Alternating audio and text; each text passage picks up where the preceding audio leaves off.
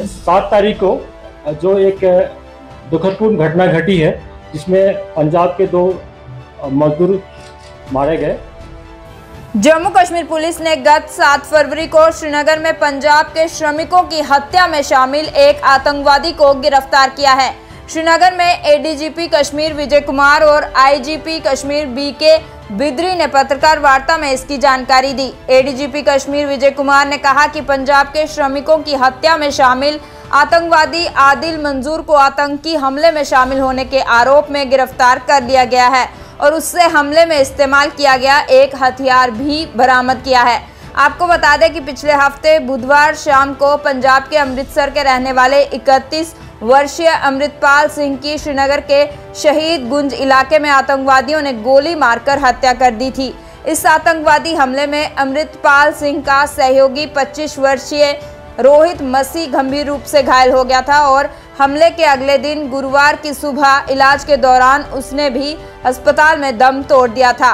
इस आतंकवादी हमले के बाद कश्मीर घाटी में विरोध, प्रदर्शन और शांति मार्च हुए और लोगों ने आतंकवाद के खिलाफ एकजुट होकर इस रक्तपात को समाप्त करने की मांग की थी। वहीं पुलिस ने एक हफ़्ते से भी कम समय में आतंकवादी को गिरफ़्तार करके आतंकी हमले को सुलझाने में बड़ी सफलता हासिल की है। इसमें कहने की बात यह कि अमृतपाल और रोहित यहाँ पे कारपेंटर और वुडवर्क के काम से वाबस्ता थे। और अपने घर से उसी दिन अपने यहाँ पे जो उनका डेरा था शहीदगंज में उसकी ओर वापस आ रहे थे। तो इसी सिलसिले में एफआईआर नंबर आठ बटा दो पुलिस स्टेशन शहीदगंज में दर्ज हुआ। जेरे दफ़ा 302, 307 और relevant section of UAPA act में। और इसके बाद ये दोनों जो है श्रीनगर पुलिस ने काफ़ी मुस्तैदी से और प्रोफेशनल तरीके से इसमें एक टीम का गठन किया गया। फ़ील्ड और टेक्निकल एनालिसिस किया गया जिसमें काफ़ी मेहनत गई और उस दौरान आ, काफ़ी क्लिंचिंग एविडेंस उनके पेशरफ हुए और इन क्लिंचिंग एविडेंस के आधार पे इन्होंने कुछ सस्पेक्ट्स राउंड अप करे। इसी असना में जो मेन कल्प्रिट है इसमें जो इन्वॉल्व है जिसका नाम है आदिल मंजूर लंगू जो कि जालडगर श्रीनगर का ही रहने वाला है आ, उसका रोल उजागर हुआ और क्लिंचिंग एविडेंस के आधार पे उसको अरेस्ट किया गया।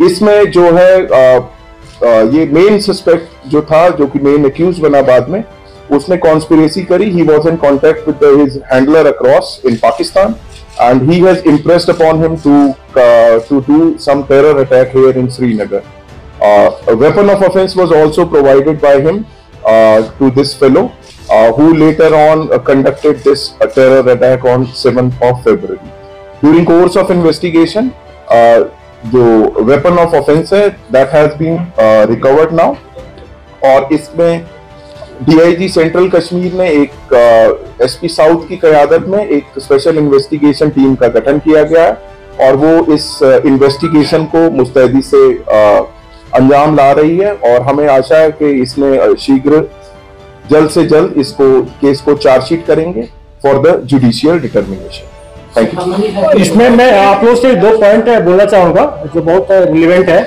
कि जो इस टाइप का मॉड्यूल को यहाँ पर लड़कों को रिलीगाइज करके भर्ती कराता है फिर इंसिडेंट करवाता है ऐसे हैंडलर को चाहे पाकिस्तान में हो जब कि, किस वर्ल्ड के किसी कोना में उसको हम लोग प्रोफेशनल ढंग से कानूनी तौर पर लाएँगे यहाँ पर लाएँगे। अगर ये हैंडलर लोकल ही है पाकिस्तान में है उनके घर वाले खिलाफ उनके प्रॉपर्टी पर जब्त किया जाएगा हार्ड हार्ड एक्शन लिया जाएगा। दूसरी पॉइंट है जो मैं यहाँ के आवाम से, खास करके पेरेंट्स से अपील करता हूँ और टीचर कम्युनिटी से अपील करता हूँ कि आपके, अगर कोई ऐसे लड़के लगते हैं कम एज वाले जो सोशल मीडिया के थ्रू रेडिकलाइज हो रहा है, उनका बिहेवियर पैटर्न में कोई चेंज हो रहा है, गलत टाइम पर ऑफ़ और टाइम पर जाकर दोस्तों से मिलता है तो पुलिस को बताए और अपना भी ख्याल रखें, क्योंकि इस टाइप का जो हैवी टेरिस्ट होता है रेडिकलाइज होता है, घर वाले को पता नहीं चलता है टीचर को पता नहीं चलता है और बाद में जाके इंसिडेंट करता है आज के जमाने में डिजिटल वर्ल्ड में उसको बच बच रहना मुश्किल है। हम लोग हर एक मॉड्यूल को बस्ट करते आ रहे हैं इसको भी किए हैं आगे भी इंसिडेंट उसको बस्ट करेंगे। और हार्ड हार्ड पनिशमेंट दिया जाएगा कोर्ट ऑनरेबल कोर्ट के थ्रू इसलिए मैं पेरेंट्स से फिर अपील करता हूँ एक बार अपने बच्चों पर ध्यान रखें सोशल मीडिया के थ्रू क्या कर रहा है मैं कर रहा उसको देखें उनका ड्यूटी है और टीचर्स का भी उसकी ड्यूटी यही है। क्या ये एक ही मॉड्यूल इनको इस तरीके के और भी मॉड्यूल्स होते थे खासतौर पर श्रीनगर शहर में बहुत दिनों के बाद ऐसी देखिए कहीं कहीं पुलिस हो और डिफरेंट मॉडल पर काम करते रहती है। कभी कभी होता है कि दस मॉड्यूल काम कर रहा है, उसमें हम पाँच के छह को पकड़ लेते हैं करेक्ट कर लेते हैं। दो तीन मिस हो जाता है, जिसका पता नहीं चलता हम लोग का, ये प्रोफेशनल हज़ार है। ऐसे मॉड्यूल इंसिडेंट करने में कामयाब हो जाते हैं। ये सिंगल मॉड्यूल के तहत किया गया था, लेकिन पुलिस अभी बहुत सारे मॉडल पर काम कर रही है। इसी चलते प्रिवेंटिव मेजर हम लोग ले पाते हैं। इंसिडेंट को रोक पाते हैं। और उस मॉडल जो काम करे उसको हम लोग शेयर नहीं कर सकते हैं। ये भी श्रीनगर में हुआ है? 2024 की पहली इस तरह की ये कार्रवाई हुई है। क्या हम कह सकते हैं militants are showing the presence या मिलिटेंसी को श्रीनगर में बढ़ाने की कोशिश की जा रही है? अगर देखा जाएगा at the end of December 2023 7 दिसंबर को ईदगाह में जो इंसिडेंट हुआ था मसरूफ दिन सूरत में। वो सवाल है कुछ जानना चाहेंगे इसमें? जैसे देखिए पुलिस की प्रोफेशनलिज्म और उनका जो हार्ड वर्क इसी से डिक्रेट होता है कि किस तरह से जल्दी इसको हम लोग क्रैक कर लिए मॉडल को बस के अरेस्ट किया गया है। मैंने आपको पहले भी कह चुका हूँ कि अगर कहीं पर डिफरेंट मॉडल काम करता है तो पुलिस बहुत को रोक पाते हैं, बहुत को पकड़ पाते हैं, एक दो स्लिप हो जाता है। ये प्रोफेसर हज़ार है। वही मॉडल वाले इंसिडेंट करने में कामयाब रहते हैं। इसमें यही हुआ है। लेकिन फिर भी आप देखिए कि कितना अच्छा इसको जल्दी टाइम पर इसको सॉल्व किया गया है। जहाँ तक प्रीवियस इंसिडेंट हुआ था जिसमें हमारे एक पुलिस शहीद हो गए थे इंगला साइड में। उसको श्रीनगर पुलिस ने बहुत ढंग से प्रोफेशनल ढंग से क्रैक करके अरेस्ट कर लिया सॉल्व कर लिया। हमारे शहीद मसूर साहब वाला केस अभी जेल तफ्तीश है एनआई को दिया गया है। उसमें पुलिस भी बहुत उसको सपोर्ट करे एनआई को। पुलिस एनआई मिलकर उसमें हम लोग बहुत सारे लीड मिला है तो हम अभी शेयर नहीं कर पाएँगे। जब उसको सॉल्व कर लेंगे फिर आपसे शेयर किया जाएगा। और जहाँ तक आपने बोला कि जो सही बात है श्रीनगर सिटी में एक मोमिन एक लोकल टेरिस्ट